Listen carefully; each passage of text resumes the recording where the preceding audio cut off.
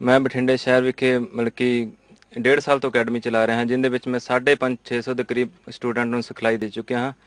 ਮੇਰਾ ਸ਼ੌਂਕ ਮੈਂ ਬਿਨਾਂ ਸ਼ੀਸ਼ਾ ਵੇਖੇ ਅੱਖਾਂ ਤੇ ਪੱਟੀ ਬੰਨ੍ਹ ਕੇ 4 ਮਿੰਟਾਂ ਵਿੱਚ ਪੱਗ ਬੰਨ੍ਹ ਲੈਂਦਾ ਹਾਂ।